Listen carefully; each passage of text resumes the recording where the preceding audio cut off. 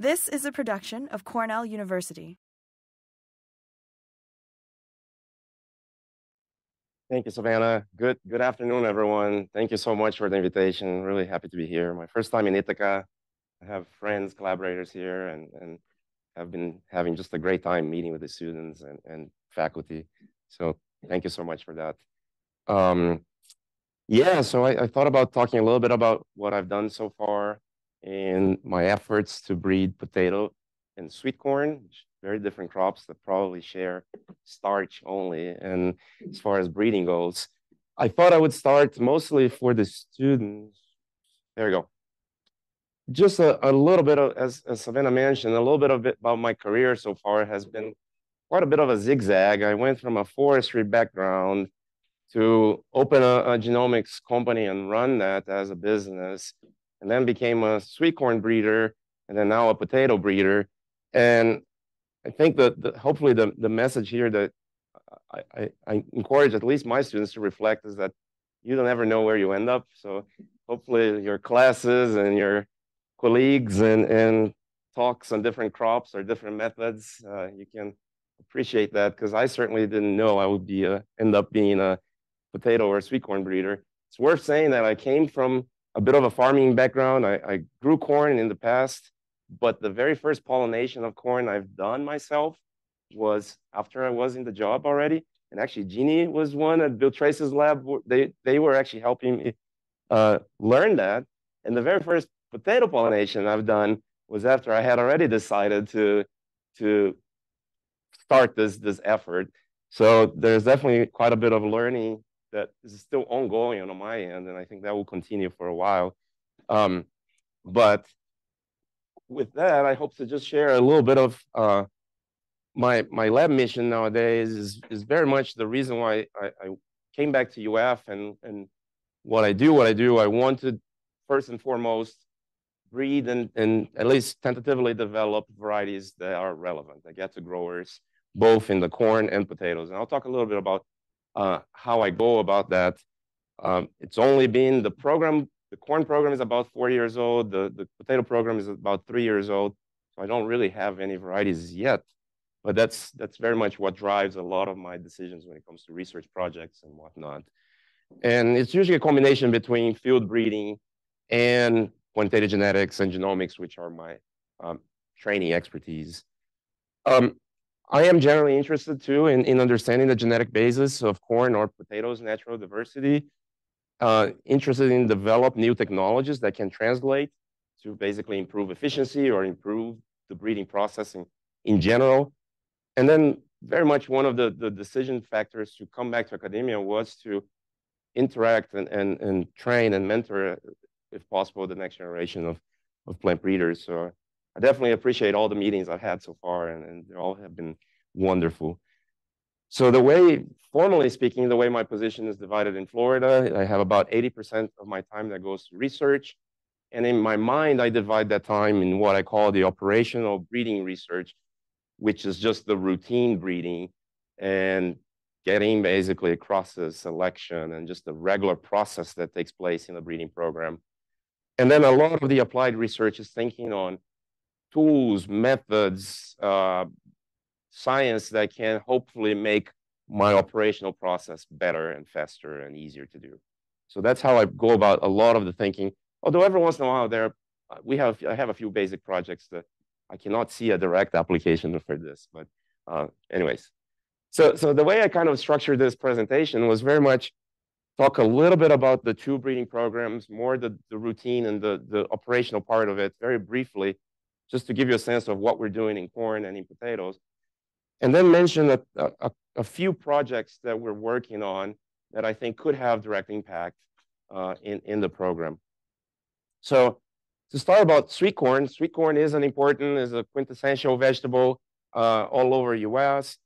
Florida is one of the main producers for fresh market sweet corn. A few years ago was number one in the country. And then nowadays it oscillates with California and, and Georgia. So sometimes we're number two, sometimes we're number three. Um, so it turns out that actually Florida was quite, quite important when it comes to sweet corn breeding. Back in the days, the program started in 1956 by Emil Wolf. And Emil was the first one who he didn't really discover shrunken-2, but he got this gene, shrunken-2, and, and put into subtropical backgrounds and developed hybrids and inbreds that contain this mutation in this gene and they increase quite a bit sugar content.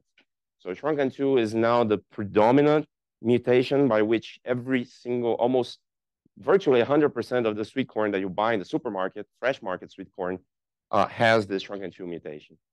And Emil created these hybrids back in 77, which were planted widely in, in not only in Florida, but in Thailand and, and all over the globe.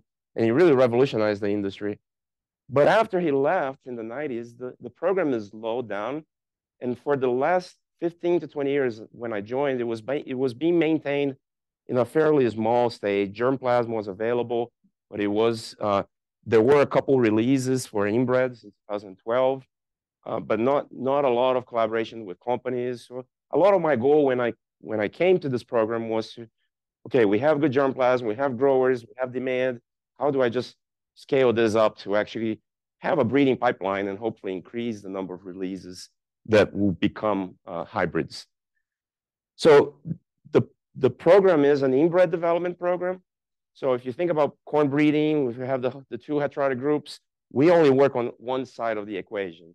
So we develop finished inbreds every year.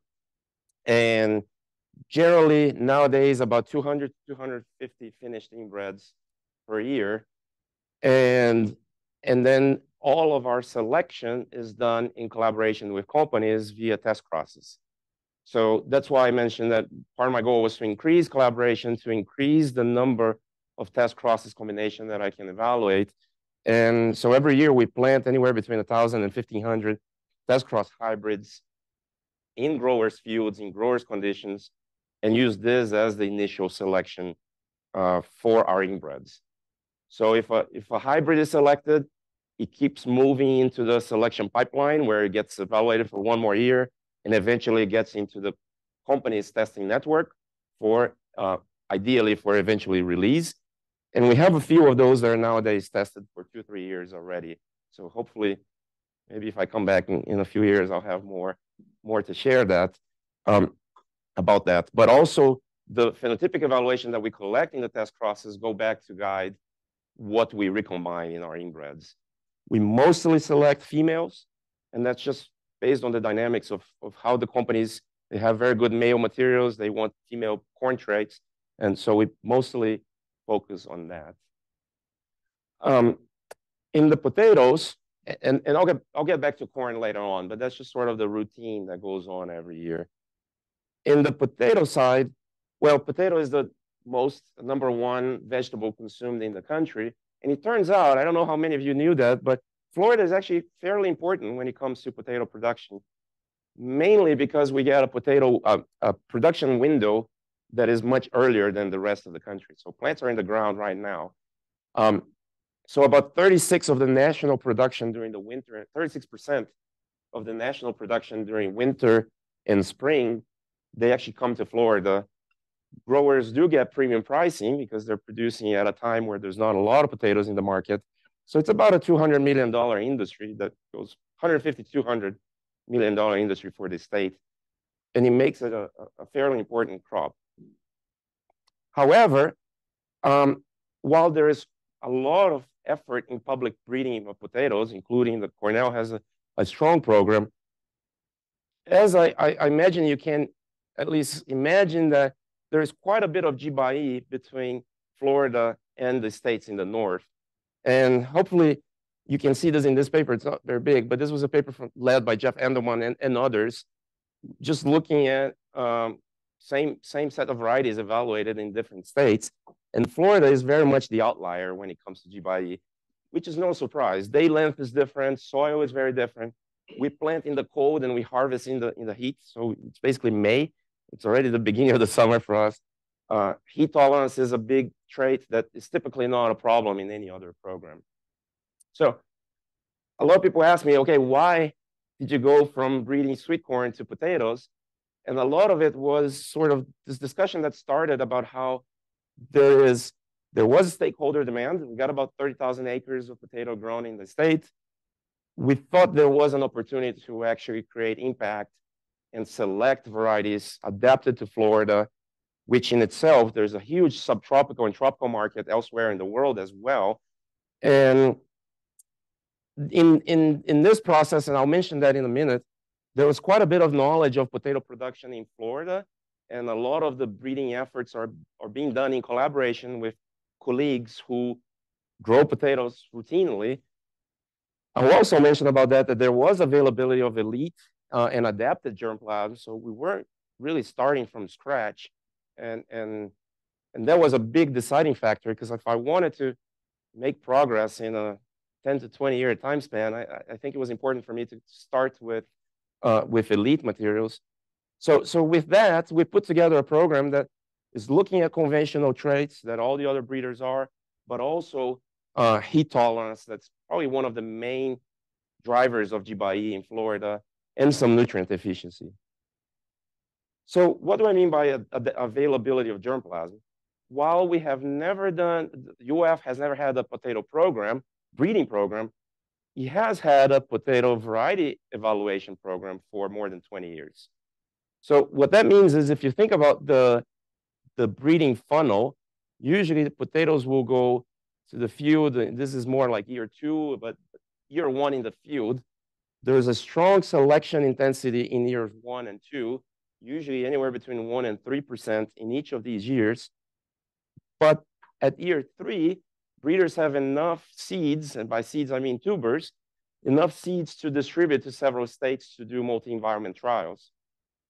So for the last 20 years, we've actually have been a testing network for these uh, materials. So we had a database of potatoes that were adapted to Florida.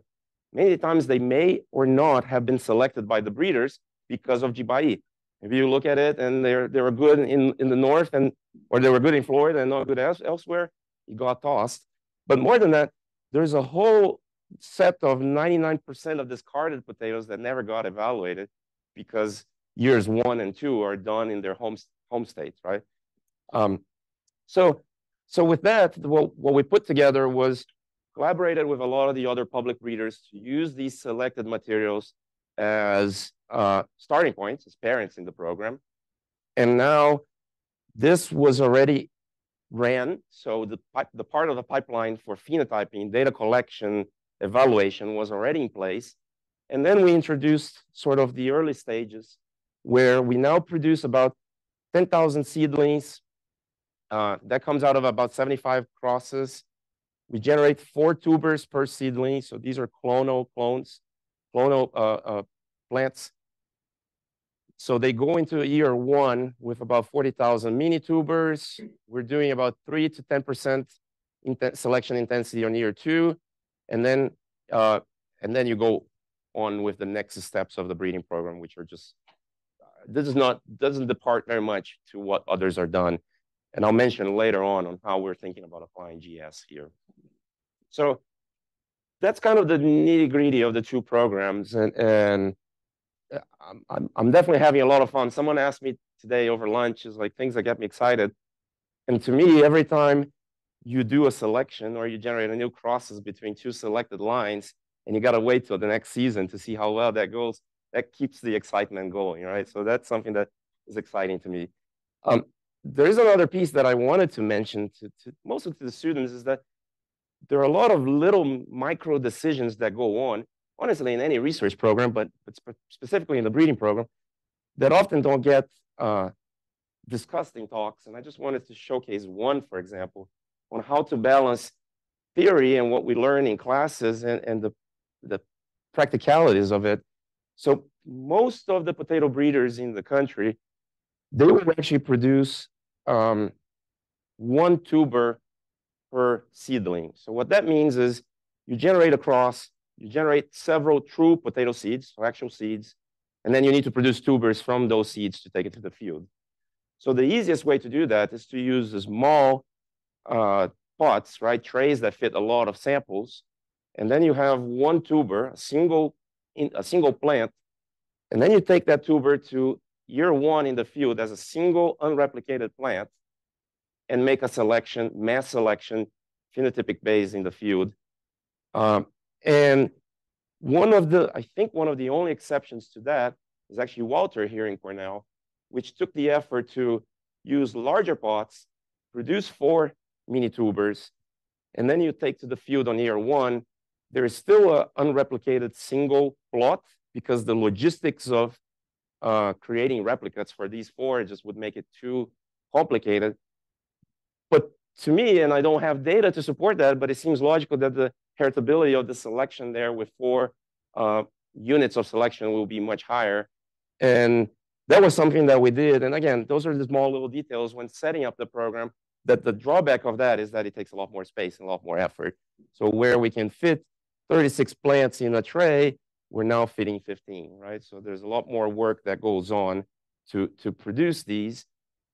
And we'll see if it pay off or not. Maybe we'll never know because we had to make a decision. We'll do one or the other, right? So, um, but but these are something that I think are, are interested. And when I interesting, and when I think a, a lot about not only these little decisions, but also the research pro, pro, programs, I think a lot about like genetic gain, right? So a lot of what I've been doing in the two programs are, okay, what, what can I do? Well, routes to genetic gain is just practical routes, right? When you think about intensity of selection, variability, time, well, some of these practical routes would be, I can just increase the program size, figure out funding, hire people, and easier said than done, right? Uh, figure out mechanization for harvest and whatnot, and that would the same selection intensity would just uh, increase the number of candidates. A lot of what we're trying to do is more accurate selection, increasing the heritability, um, improving phenotyping, improving phenotyping, the traits that are important, doing better experimental designs, always balancing the, the, the practicality and the logistics of it with the theory, but that was just an example now. And again, I still have four, uh, an unreplicated plot, but at least I definitely have better uh, higher heritabilities there. And, and when possible, we haven't done that much about this yet, but we're still exploring marker assisted selection for some key uh, traits. Um, we've been doing work with faster breeding cycles, so um, more seasons per year. This was, again, just some of these logistics decisions that we changed in the program. Double haploid production in sweet corn was not used very much, and we're now using quite a bit. So you go straight from an F1 or F2 to a, to a DH inbred, which just accelerates the production, and genomic prediction. And I'll show some data about that. And then exploring adequate genetic variability. And, and that's something that I saw early on in, in our materials of corn when I looked at heritabilities of in the exact same environments, phenotyped in the exact same day by the exact same people, the heritability or our own material compared to heritability, for example, of Bill Tracy's programs, ours were much lower as a consequence of us having less genetic diverse genetic variability there. So over the time, basically just selection intensity reduced variability, and this is something that we've been putting time on.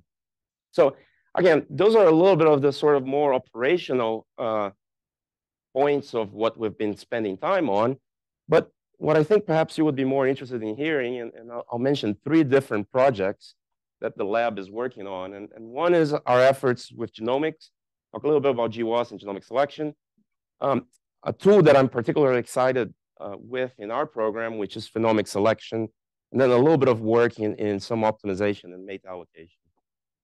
So as, as I mentioned, the, the I joined UF about seven years ago, and there was a transition internally until I had access to germplasm and started the program effectively. So for the first three years or so, I was mostly generating genomic resources and, and honestly learning quite a bit about the crop myself.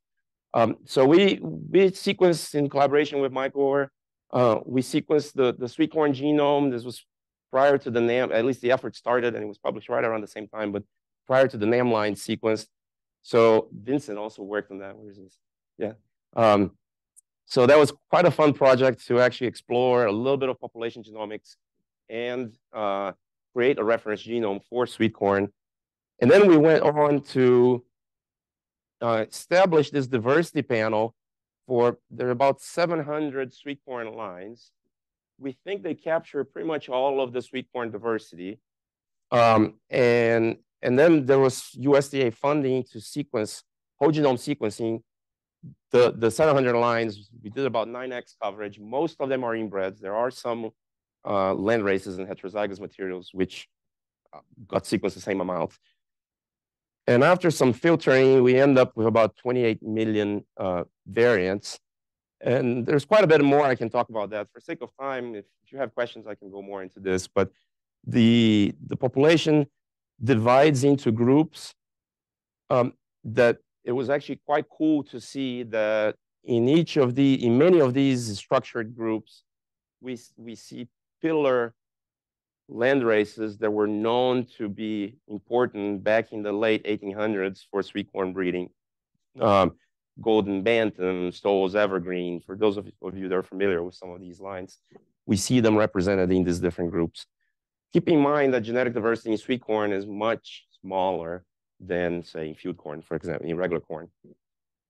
And so a lot of what we want to explore with this data was to use, and, and I, I tried to do my best to move back and forth between corn and potatoes here. So I'll show some data on potato too, but, but was to basically use these genotypes and a variety of phenotypes that were collected, both for genome-wide association studies and for genomic selection. So I'll start with, with GWAS first. And, and I must say I have a bit of a love-hate relationship with it. I think there's several traits and several situations where you find textbook examples, very cool, clear biology that needs to be validated, but it really makes a lot of sense. And just the, the power you have for GWAS in structured breeding populations. We were talking about this over lunch. I don't think we'll ever compare with, for example, what's been done in humans. So, so there are a lot of cases where either we don't find anything or there's a lot of G E. You run three years of data. Each year you get a different result. And, and anyways, it makes it for a fun exercise. But I'll show you firstly the most interesting ones. Uh, one of the traits that's really important in sweet corn is germination. The seed itself has very little starch, so we need uh, germination rates, even in elite commercial hybrids, they often are not as high. They're not often not 100% or anywhere close to it. And we spend quite a bit of time uh, phenotyping uh, for germination rates, not only in, in regular field conditions, but under code, sent, every year we send these materials to Washington State and they get planted there under cold. We had some some automated growth uh, growth chamber assays, and and this is one result that came out. Again, I'm showing you the, the nicest ones. I'll show you some of the ugly ones later on. But there was a, a single nice peak. The top SNP created a stop codon, was inside a gene, created a stop codon in that gene. That gene was annotated as a gibberellin regulated protein 8. It is expressed in the embryo and in the endosperm. There is protein accumulation in the embryo. There's a lot of things playing in our favor here. We haven't really done the actual validation yet, but at least everything makes sense. You look into the neighboring genes, there's really nothing else that looks like a candidate. So I think that's one that potentially it's quite exciting. There's another one, and just to mention a few of the phenotypes, we generated something like collectively, the entire group, generated something like 150 different phenotypes. So this was done in collaboration with Anna Block from USDA.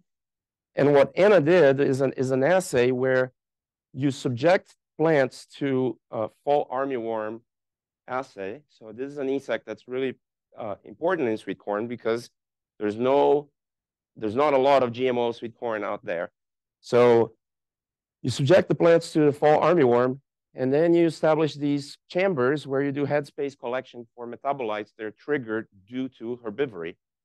So at the end, we had about 30 different metabolites in the, in the population. And then we did metabolite GWAS to see what were the SNPs actually affecting some of these metabolites. So here's an example for beta myrcene, where again, the SNP, the top SNP in this tower was inside this gene that's called terpene synthase 1. So it happened, so happened that Anna had mutants for this gene readily available. Um, and when you look at um, the volatile production for beta myrcene in TPS1 mutants, they're actually quite reduced in the mutant relative to wild type, both in normal conditions and in fall armyworm uh, uh, assays. And when you actually look at um, preferences for other positions, So you subject the, the, the larvae to an assay where you have both plants, wild type and, and TPS1 mutants. The, it, it seems like the insect prefers less to go eat the TPS1 mutant plants. Uh, so again, another case of those that there's definitely more validation that can be done to actually confirm that's the case, but it seems like pretty interesting results that um, may at least expand our understanding of biology here.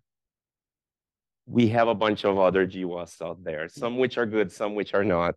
So a, a lot of the effort, I think I can go for another 100 years exploring these.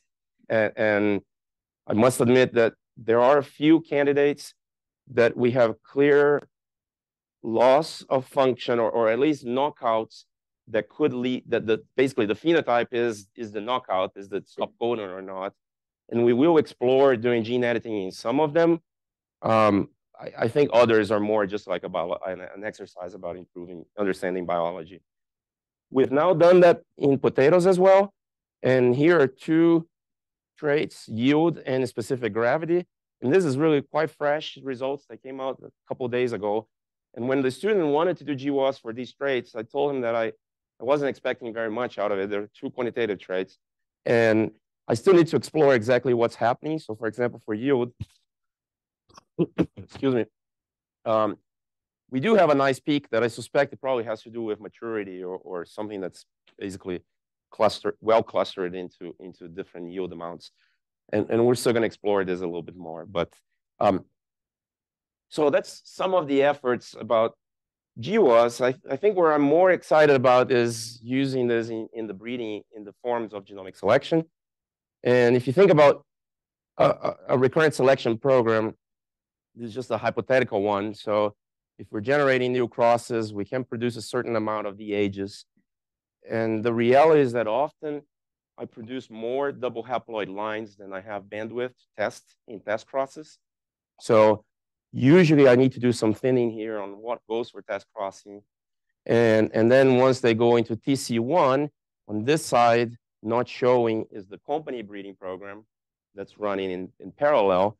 So I could apply genomic selection here to guide my crosses within the, the, the heterotic group, if you will. And I'll get back to that a little bit later in the presentation. I can apply genomic selection just on a per se selection of the, of the inbred performance, and, and at the very least to narrow down which DHs or which finished inbreds go into TC evaluation. And so we've, we've done that now for, for a few years, and we calibrated um, genomic selection models in the inbreds and sometimes in the hybrids, but predicting the, the inbred values. And the prediction values are, are quite high, actually. In one end, it's good because it shows that we have potential to, to deploy this. Another point of view, it showcases, again, the fact that sweet corn has a pretty narrow, uh, uh, quite, quite a bit structured population. Um, I'm only showing a few different traits. We have others. Yield, marketable yield is a trait that's really hard to collect in, in, in early stage sweet corn. So we end up generating a lot of year component traits. So year height, year length, tip fill, how much the ear fills all the way to the top, and things like that. But in addition to, to just generating these prediction models, we've also simulated our own breeding program with the exact details and sizes, and, and basically inputted the actual costs of what it would be to, to do genotyping, do genomic selection, to have basically uh, a, a, genomic selection program. And under different conditions, here are just different levels of G by E. And not surprising, others have shown this. Many have deployed this routinely. The, the GS gains, uh, especially in our case, that we have the ability to select in off-site nurseries based on a model that predicts the target environments, which is in South Florida. So we basically gain both in, in, not only in absolute gain, but in also in, in gain relative to cost, right? So this year is actually the first um, the first year that we're past model calibration and that we're se selecting which individuals will be crossed in the program using genomic data. So we're actually deploying it routinely. And, and I'm pretty excited about that. So the, the, the third way that we could use GS is a little bit harder for us because a lot of people, a lot of papers show that where you can actually bypass the test crossing system and predict which combinations of hybrids should be created. For us to do that, in our current system, we would need access to companies' data to be able to basically see which of the company material would better complement uh, our materials. And that's a little bit harder to do. That being said, we did do that uh, in collaboration with Bill Tracy. So it's uh, more as a demonstration to showcase to companies and, and created about 506 hybrids in, in 62 uh, combinations of 62 different inbred lines. And these have now also been phenotyped for about three different years in three different locations. We have trials in California, Florida, and Wisconsin. And once again, the, the, the prediction accuracies are pretty high. I'm showing here ear length, ear width, and, and tip fill. Um, so, so moving forward, I, I, chose not to share a lot of details on the models, but these are just standard GBLUP models. The hybrid one includes a dominance kernel. The inbred per se were just a, was just an additive model. Um, so I am actually deploying these here uh, routinely for the, again, this is one side of the heterotic group for the selection of which inbreds to recombine and to actually call down DHs before they go into test cross generation. Okay, so that's GS in corn. Um, in potato, the accuracies were not as high, which makes a lot more, a little bit more sense. It's more in line with what we see uh, in, in other crops. I have here marketable yield, specific gravity, and total yield. And these yield and gravity are two important traits for chipping potatoes. And at the same time, just keep in mind that once you take a potato to the field, it takes three years for you to actually have enough experimental power, enough seeds to measure specific gravity, generally speaking. So if I can predict in year one specific gravity uh, of, with a, a, fairly good accuracy, it's just a clear, we, it's just an easy acceleration of the program that I think makes a lot of sense. Uh, Kelly and I were talking earlier today. That was a lot of the motivation when I started working with genomic selection in trees. Any positive non-random prediction accuracy is worth it from, in my point of view, because if you're shifting the selection from year six to year to seedling, right? It's gonna make sense in the in the program. And, and, and beef cattle or dairy cattle is the same thing. So we're moving a little bit more aggressively here in this program. Uh, now we only have one year of data for this model. But what we're going to do this year is that so these um, seedlings, they go to the ground on year one. We'll select about 10% of them, so a little bit looser intensity of selection. And then the selected ones based on field traits get genotyped. And on year one, at the end of year one, we're already recycling new parents based on the genomic prediction and just accelerating the, the crossings and they still go to the regular field testing program later on, but at least we have new, new parents quickly being uh, recycled. So that's, that's sort of the genomic program. Um, I would like to talk a little bit about phenomic selection, and, and there's quite a bit of phenotyping that, that we're exploring, but I, chose to focus on one here today, which is the use of the single, the, the use of single kernel NIR. This is a collaboration with Paul Armstrong. So this is the machine, is a custom-made machine we have in the lab. I'll put a little video to run. So basically, this is a the cone planter uh, cone with a vacuum tied to it. So pick up one seed at a time, and then we'll drop the seed through an NIR module, which is here.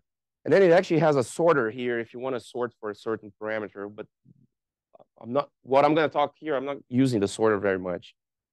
So initially, we use this machine to do the general model calibration for NIR, just like it has been done in many other cases, right? So we, we generated ground truth wet lab data for uh, starch content, for sugar content, oil content, pericarp thickness, and, and traits related to kernel composition, and then calibrated a model, which these models tend to be pretty good. Uh, I mean, we see R squares, the kernel weight, we can predict with 0.96 R squared. They're, they're really good. But what what I was interested to see, that's that's what I call the classical use, are traits associated with the kernel, and there are several papers about this. I was interested to see whether or not I could use this data for phenomic selection. So to actually build uh, a, kinship matrix, a relationship matrix, and predict complex traits that may not be necessarily related with kernel composition. And others have done that in, in corn. Uh, I think Seth Murray has done quite a bit of work, and I know others here have done as well in tomatoes and, and other plants. Um, I, I, I think what, what at least I thought was unique about our application was that if you use it at the single kernel NIR level and not using drones, you can actually make selection prior to take the plants to the field. And the environmental component of your NIR is actually restricted to a seed source, right? So it's not so much the, the field environment. So the, the idea is we have about a thousand wavelengths that the machine calculates for different absorbance. And you can treat each one as a phenotype, as a trait. And then we can use that set of traits to build a relationship matrix that will then be used to predict a certain phenotype. The, the best way that I could convince myself of how this could work, having twins myself, is an example like this. And some of you may know these two. I just Googled for the two most famous identical twins, and um, Property Brothers showed up. So if I was to ask you, and this is a hypothetical example, what is the probability that Drew, who I have no idea who it is, let's say this is Drew, what's the probability that Drew is colorblind, given that Jonathan is colorblind? Um, and in our minds, we would use the morphological traits of the face to create a relationship and say they are, they are identical twins. So even though color blindness has no biology, biological relationship with any of those traits here, we can actually come up with a pretty good prediction in this extreme case, obviously, that if this guy is colorblind, this one probably is as well.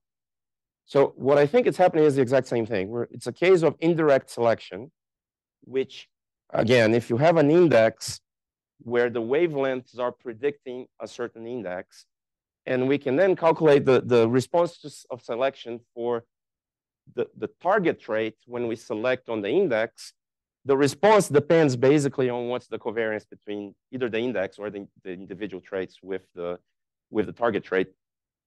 And the structure itself creates that covariance. So I think the key thing is that even though I'm not suggesting that a certain wavelength in the kernel has anything to do with flowering time, but it turns out that there is a positive or negative correlation of these wavelengths with traits that go to the field.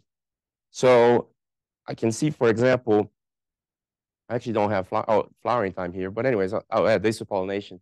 And you can see that you have uh, non-zero values that can then capture, have some predictive power. And, and the way we looked into this, so we had about 600 individuals. We, we had a bunch of phenotypes in the field. We said, okay, let's just try out. Let's do cross-validation prediction, take one set out and see how much the NIR can predict some of these traits.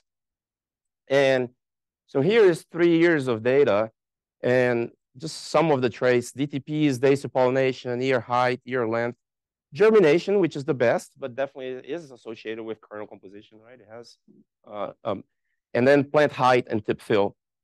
And the accuracies value vary, but I, I was pretty excited to see some of them are, are fairly high, and it seems like we can actually achieve some predictive power for traits that are non-correlated with kernel composition uh, in three different years in, in this data set. So the first question that came to mind is like, well, how much of that am I just predicting the environment? This is just seed source. And while we haven't calculated yet the heritability of the index or heritability of each wavelength, we did had data from NIR data collected in, from, from different seeds, the same materials, the same genetics, but seeds then generated in two different years.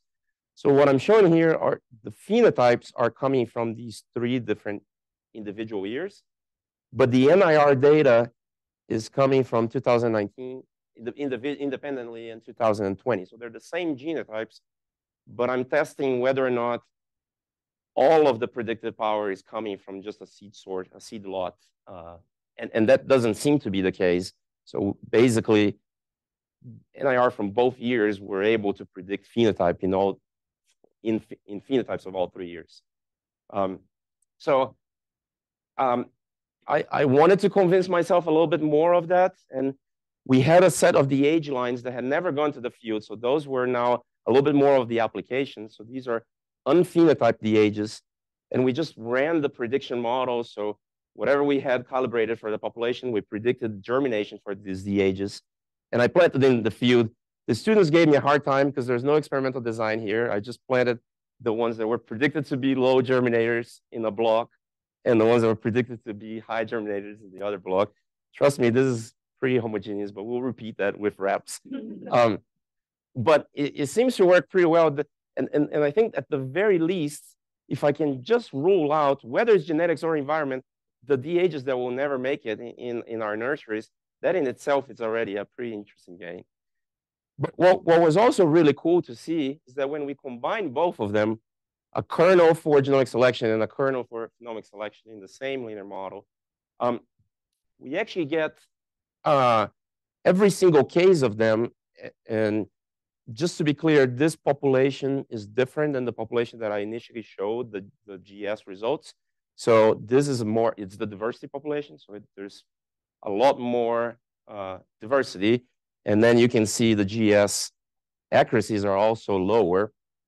Uh, but it turns out that in every case, when I combine in cross-validation, when I combine GS with PS, I get a little bit of a bump. And it seems like the bump is higher.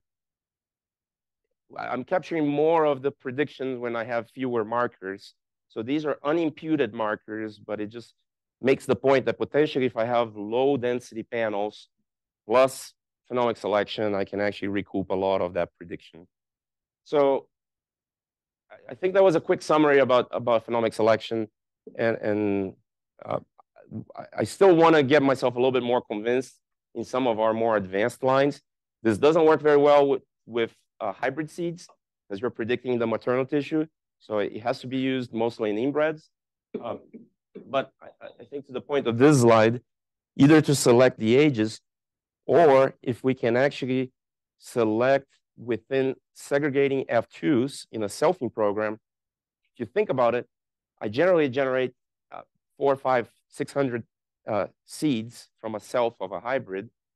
And these are, are a, a segregating F2, right? Some of those will go to the field, and usually it's just a random selection of 25, 50 seeds. You open up the packet and get a few and take it to the field. So any positive gain that I can have here is basically free gain ish, right? It's just the cost of running the machine. So I'm pretty excited with this and we'll continue to explore. How much time do I have? Just so I... Okay, I can cover that. And so the, the last project I wanted to touch base is, um, is one that builds very much in what Jean-Luc has worked in the past and others, but it goes back to how to select, uh, how to better select in, in my initial scheme that I've shown, what to cross using genomic selection. And not only rank the best inbreds, but really guide what to cross uh, within the heterotic group. And we started working on this. These uh, Marco is a postdoc in my lab now. Igor went to to uh, uh, to work for this for a seed company, but the, the Sue started working in the in in the lab a few years ago, exploring these new simulation tools, which honestly are quite exciting because you can, simulation exists for decades, but I think nowadays it keeps getting more and more advanced to where you can actually simulate a more realistic breeding program in my mind. So I've shown you already one of the simulations where we just simulated genomic selection. But if you think about the, the rationale, it's well known that genomic selection, if you, if you don't pay attention how to deploy genomic selection, it's well known that your genetic variability drops quite rather quickly. And this is just an example where we simulated the, the selection of the best lines unconstrained by anything, just get the best lines and move forward in the program. And quite quickly, your genetic variance drops. uh, so, so Marco ended up creating this, this R package, Simple Mating, which is already available, and hopefully the, the GitHub will be published this week, I hope. Um, but the the idea was, if you think about it, it, it, it it's an optimization pro problem. So we want to maximize genetic gain, right? That's what everybody wants to do. But if possible, and if genomic data allows it, we want to constrain on just relationship as a measure of the future diversity, um, right? So the way we were interested in approaching this is uh, you can you can do that looking at progeny means and predicted progeny means from from um, from your genomic selection. But we were interested in, in, since you have genomic data and start looking into the concept of usefulness. And again, others, many others have looked into this. The concept itself was proposed back in 1975. But the idea of usefulness is that you can unite two concepts, genetic mean and the genetic variance of the future progeny that will be generated by that cross. So you want to create crosses that the inbreds have good predicted mean, but that will also generate the DHs or, or, or your selfing program will generate um, large enough variance so that you can select there. So using genomic data, we can actually calculate and estimate usefulness. And you can estimate that for additives, for dominance. And what I think what we added that others had not done yet was to add a multi-trait usefulness that if you think about a vegetable breeding program, yield is important, but there's a ton of other traits that are important as well. So basically, the package will create a, a list of all possible crosses and then a, a, a estimation of what is the variance for that future cross, what is the variance for the mean, and then what's the usefulness for that cross. And that's the first step. And you can use either an additive genomic model, a dominance, an additive and dominance genomic model, or an additive multi-trait and an additive dominance multi-trait model. And once you do that, here is the list of crosses. We can go and constrain. Let's not make just the top ones. Let's constrain them based on uh, inbreeding, right? So there, there's a few functions that will go and create what is the mate plan that constrains what is the future inbreeding that's expected to be generated from those processes. So, so far, we've only tested this in simulation. And, and again, I think this concept of mate pair allocation is not new. Many others have, have done bef before. Um, we wanted to just get a little bit more into it and, and explore how well it would fit into our program. So, so far in simulation, what we did is look into a, a, a program that had been published before, which is no longer sweet corn, but a regular field corn program where you have the two heterotic groups and you're just basically selecting on both sides of it and selecting on the hybrids. And, and we compare basically truncated selection, the implementation of genomic selection, and then the implementation of the, of the cross selection. And I won't go through all the details here, but I think that the three lines to focus are the dashed lines. Uh, and, and I think the message here is that you do get a little bit of gain. It's not a ton, but honestly, it's gain that's using the same amount of information that you would from genomic selection. So it's virtually free gain. Um, and you get a, a significant reduction, or, or it doesn't reduce as much the genetic variability over time. So basically, this is a breeding program that was simulated for 20 years. And, and then this is the loss of gen, uh, genetic variance over time. And one of the things I wanted to see is how correlated were the selections based on usefulness and based on just progeny mean. And they're pre-correlated, but not one. So here's a case where the same 20 years were ran. Every year we selected based on usefulness, but we checked what was the correlation of the usefulness values and the progeny mean, just the regular uh, mid-parental average values. And over time, for both cases, as you start depleting diversity, basically that correlation decreases. So this basically lower correlation is what's creating this increased gain. And so, yeah, I think these are just a few projects that we're working on.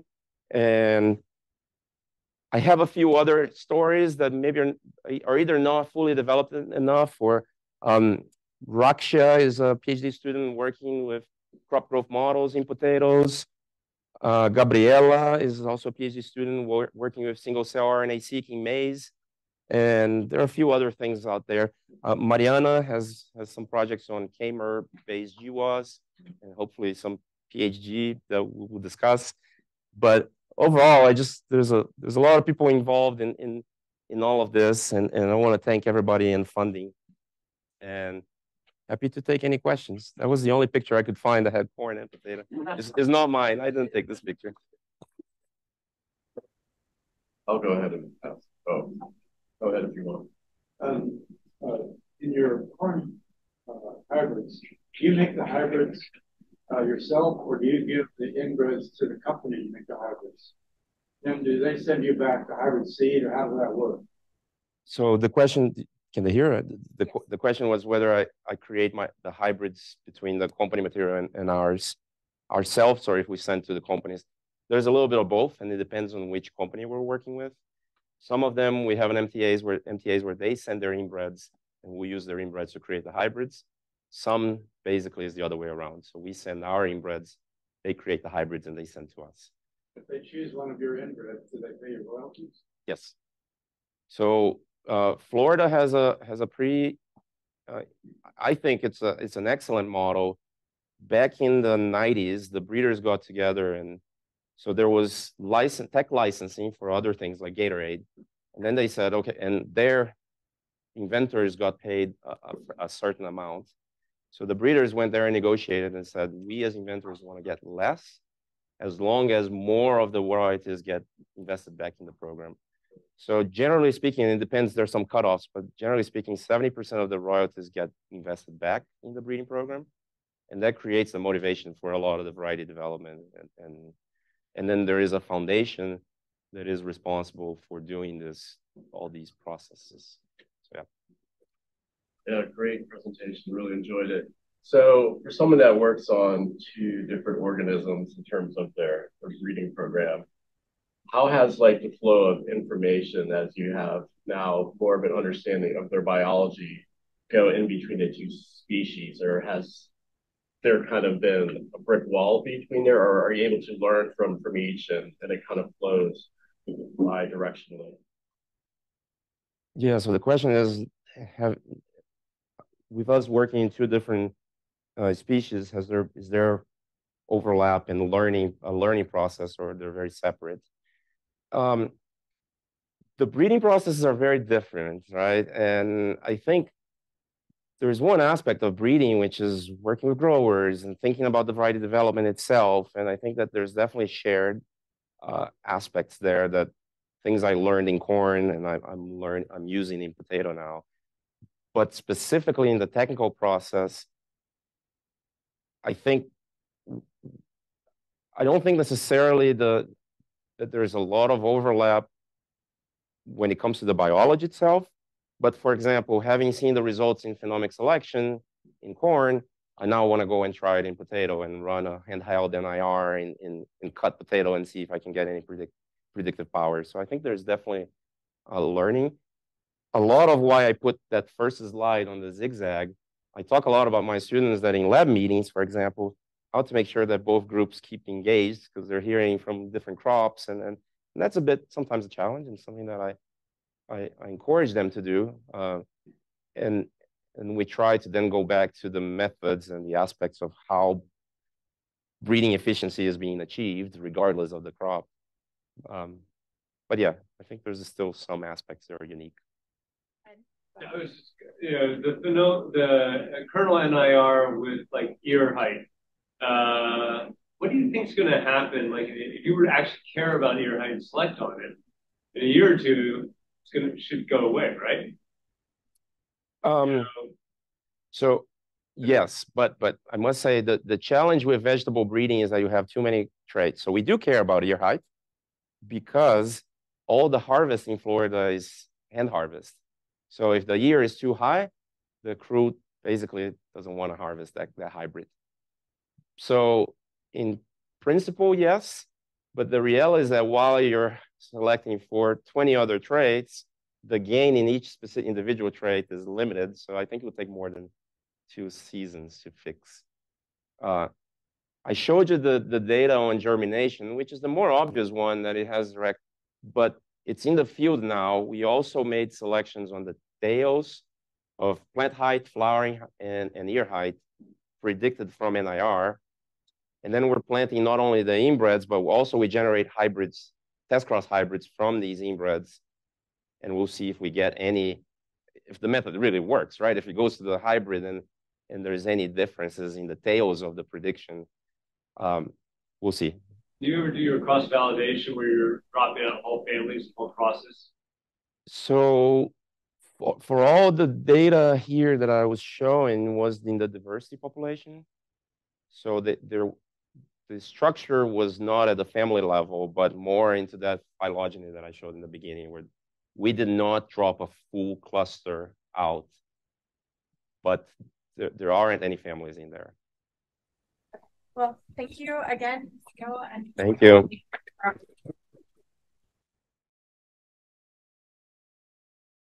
This has been a production of Cornell University on the web at cornell.edu.